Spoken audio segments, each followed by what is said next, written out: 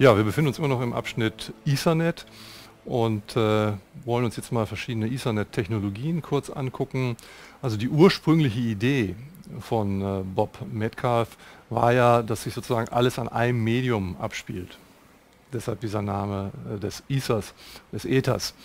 Und äh, die ursprüngliche Verkabelung dafür war tatsächlich ein Yellow Cable, ein SIG Cable.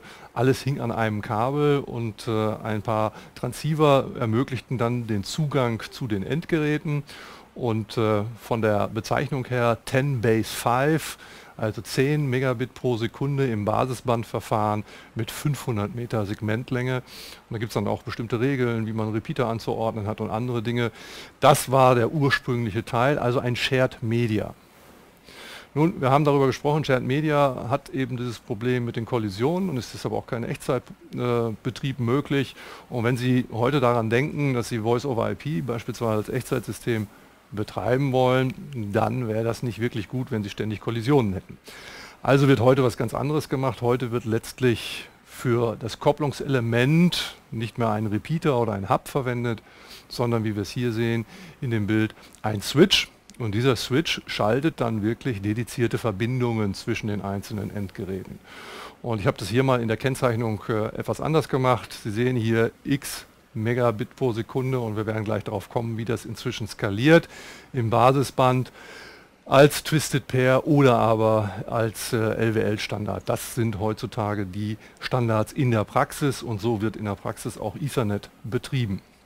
Wenn wir jetzt einen Blick auf verschiedene Entwicklungsstufen vom Ethernet mal werfen, dann sehen Sie, es ist also irgendwo losgegangen mal mit dem Standard Ethernet und ist über Fast Ethernet, Giga Ethernet in dem Bereich 10 Gigabit pro Sekunde, 100 Gigabit pro Sekunde. Das ist das, was inzwischen schon standardisiert ist und es wird schon darüber gesprochen, auch 1000 Gigabit pro Sekunde zu machen und irgendwann an der Stelle kommt man tatsächlich auch an die physikalische Grenze.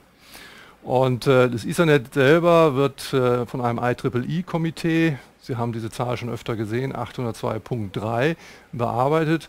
Und in dieser, innerhalb dieses Komitees gibt es eine Reihe von Standardisierungen. Sie sehen das hier, das war diese 3U, war Fast Ethernet, Z war Gigabit Ethernet und nun sind wir inzwischen bei BQ, BJ, bei ähnlichen Standards, 40 Gigabit.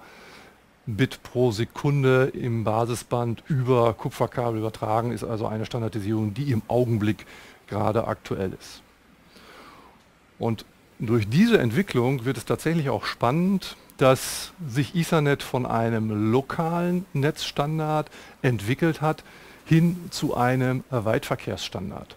Und äh, dieses Ethernet jetzt als Carrier zu nutzen, das sind sozusagen die Entwicklungen der letzten Jahre. So, und mit dieser Entwicklung äh, findet eben eine Entwicklung zum Carrier statt und Sie finden die neuesten Entwicklungen zum Beispiel auf der Seite von dem Metro Ethernet Forum.